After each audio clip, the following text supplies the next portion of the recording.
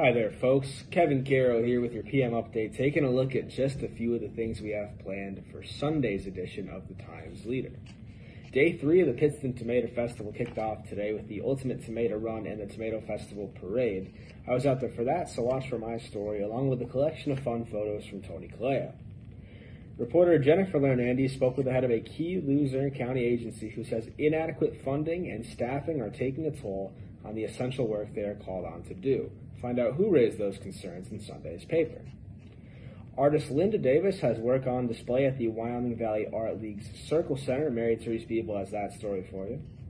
In sports, check out photos from the biggest card of the year at the Downs at Mohegan Sun Pocono as Sun Stakes Saturday is underway today. And for everyone who's passionate about high school football, just a heads up, our annual preview section will appear in Thursday's edition of the Times Leader.